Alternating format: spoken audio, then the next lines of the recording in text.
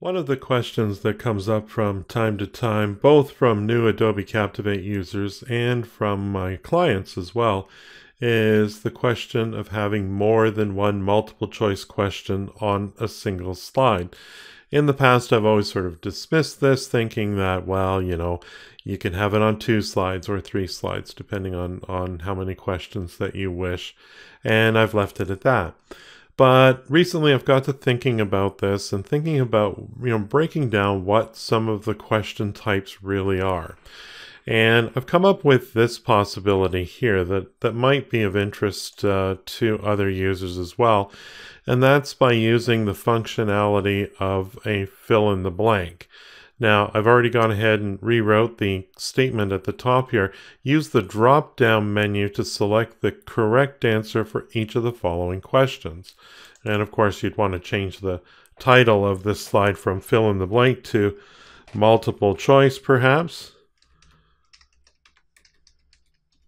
You know, and in this case here, what I've done is I've wrote the question, I wrote the correct answer, uh, for three different questions. And what you can do is, of course, and I like to add a couple of spaces here at the end, but just highlight the question and over in the quiz panel, mark that as blank and do the same thing for your other answers as well. We'll do this for this one here. Again, I put in some extra spaces because I find sometimes the drop-down menus, uh, you know, they're kind of tight. So I'm hoping this will work. And we'll just add the uh, mark blank for the third question as well. And now, of course, what we can do is we can click on each one. Now, normally fill in the blank leaves you with a literal fill in the blank. But one of the options that's available to you in Adobe Captivate is to switch that to a drop-down list. And then what you can do is you can have your correct answer indicated with the checkbox here. And we can put in some distractors. So we could put in green, and we can say yellow, and black as just some distractors here. And let's uh, go to the next one here. Uh, just so again, click your mouse on the, the answer and again, switch this to drop down list.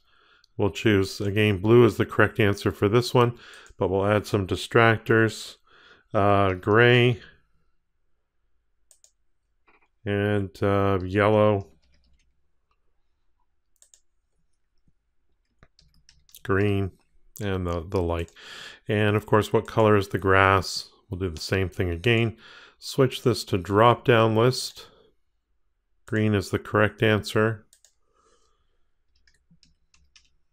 Blue. I guess it could be Kentucky bluegrass, but uh, we'll just ignore that for now. Silver, black, some obvious wrong answers there.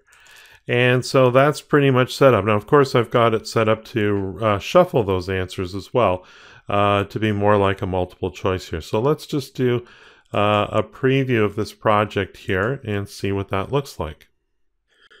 So here's our title slide and there we go. So our multiple choice here, we can select from the drop down menu. So what color is the sky? Let's get it wrong first.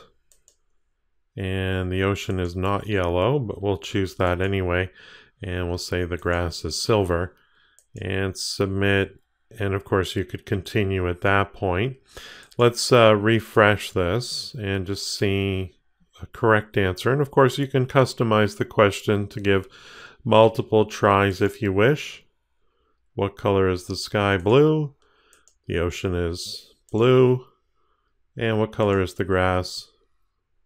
Green. So not really a true multiple choice in the traditional sense of having radio buttons, but a good alternative if your client or stakeholder insists that you have more than one question on a slide. If you thought this video was useful, please share it with your colleagues. If you need help with your next e-learning project, consider hiring me. My focus is to create effective e-learning that helps you achieve your business goals. Visit my website at paulwilsonlearning.com, follow me on Twitter at paulwilsonld, and don't forget to subscribe to my YouTube channel.